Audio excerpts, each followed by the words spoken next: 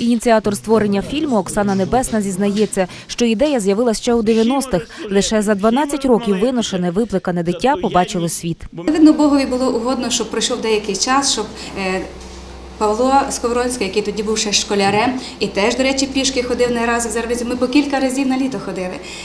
Вивчився в Римі. Іван набрався досвіду в Києві. Ну, словом, склалися так обставини, що ми нарешті свою мрію зреалізували. Е, Першим, кому ми довірили свою таємницю, що все, починаємо працювати над фільмом, то був пан Олег Герман. Скажи перше слово, поможи, якось направ, скеруй. Олег Герман на білому аркуші паперу вивів лінію. Ми дійшли до висновку, що це дорога. Це дорога, по якій будуть йти. І ми поводарем на цій дорозі обрали владику. Він своєю оповіддю, своїм голосом, своїми емоціями і почуттями повинен був супроводжувати.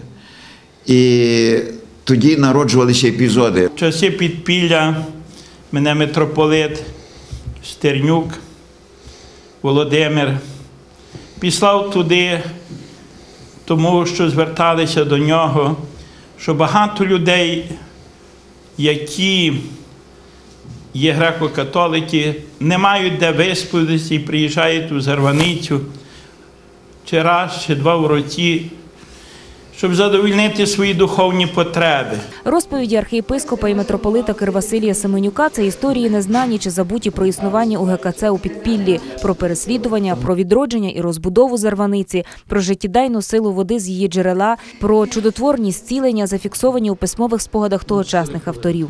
Серед численних інтерв'ю розповідь доньки пані Монастирської, яка упродовж 40 років в своєму домі переховувала чудотворну ікону Зарваницької Божої Матері. Центральним персонажем картини є образ монаха, вісім століть тому загнаного обставинами і людьми у глухий кут. Виходу із важких ситуацій шукають і сучасні прочани. Фільм на прикладах вирішення проблем покликаний дати надію тим, хто у розпачі чи у пошуках. Коли ми почали знімати, я почав бачити людей, як вони світяться. Почав бачити якісь такі самі самі самі світлі сторони е, тої зарваниці, і я пам'ятаю, що робота дуже легко йшла.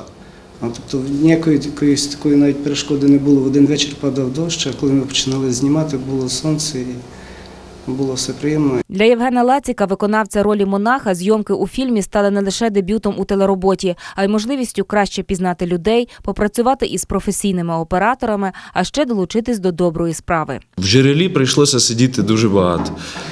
Е, Ноги були такі червоні, як е, страшне. Але я свідомо йшов на це, віддаючи нехай якусь там маленьку таку свою жертву в те, щоб фільм склався, вдався. Автори переконують, на чудотворному місці у Зарваниці відчувається божественна благодать, і кожен може прийняти її.